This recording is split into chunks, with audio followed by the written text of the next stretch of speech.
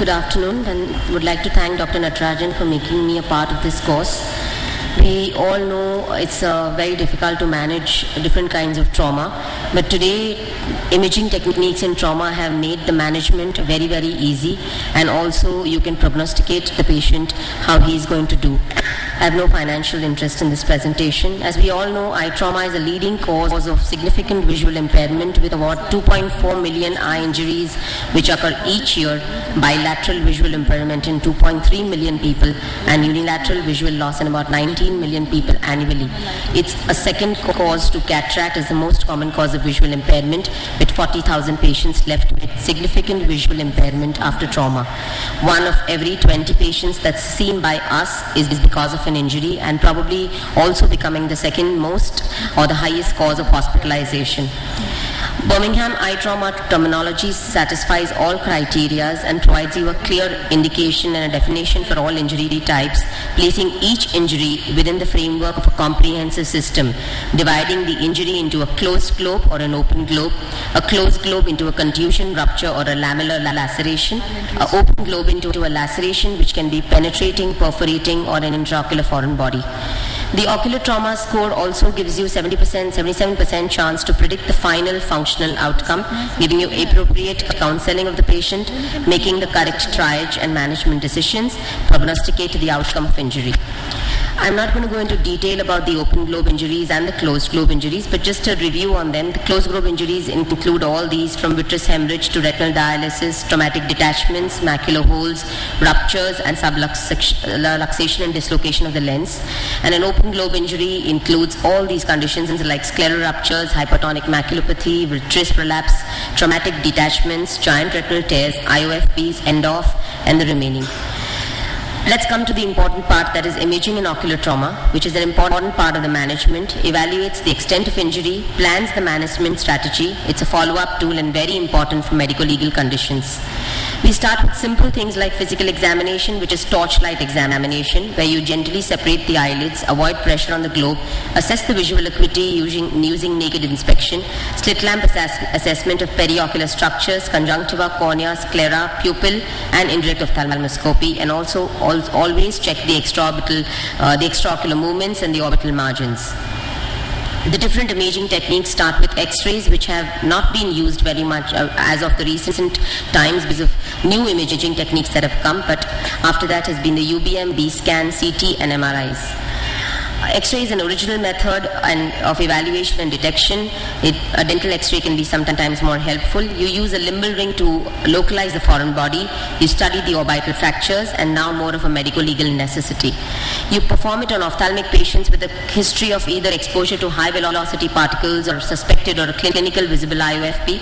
Uh, it's very useful in radio opaque foreign bodies, not in radiolucent foreign bodies like wood or glass. And you have the two different projections, that is the Caldwell's and the Waters view. You, you, also can use the Sweet localization technique that we've learned in our MS days, which involve the frontal and lateral projections.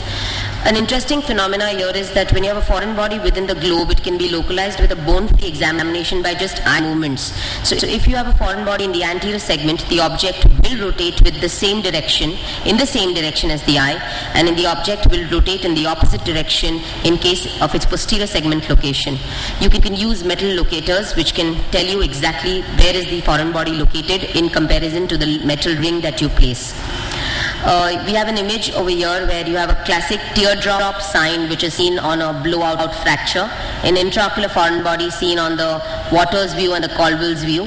This is an interesting feature where you, have see, you see a foreign body on the x-ray where you feel that it's probably anteriorly located or posteriorly located, you don't know really, but when you do a CT of this patient you actually know that it's extraocular, it's actually outside, it's near the limbus.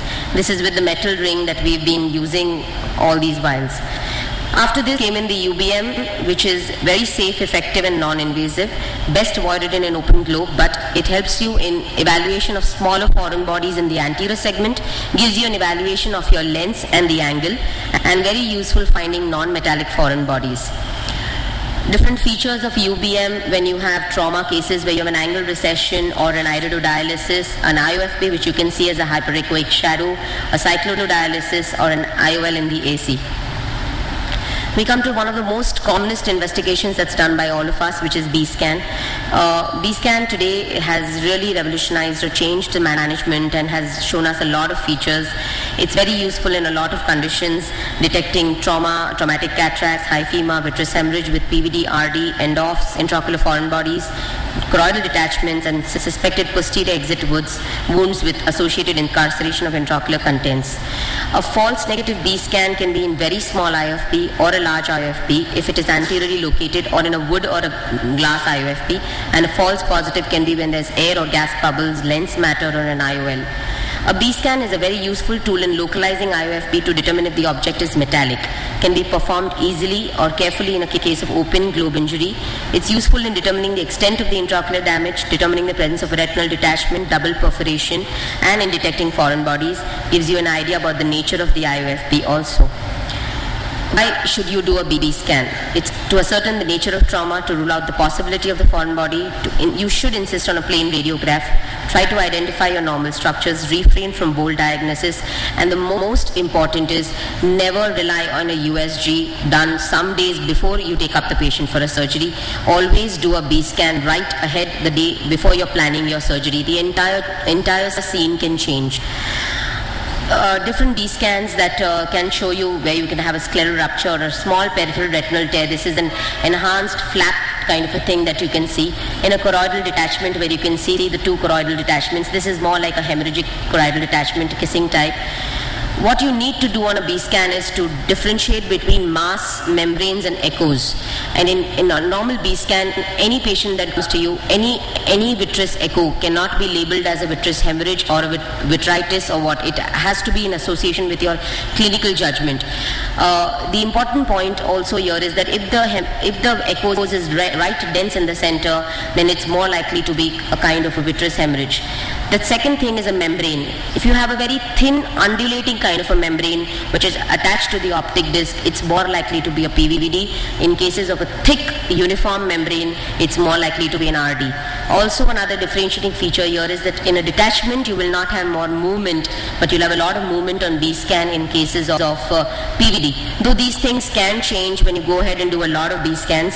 Uh, in, in cases of fresh RD, you may see movement. If you have an old PVD, you may not see movement. A dislocated lens picture which classically shows you a hyperechoic shadow in the posterior segment.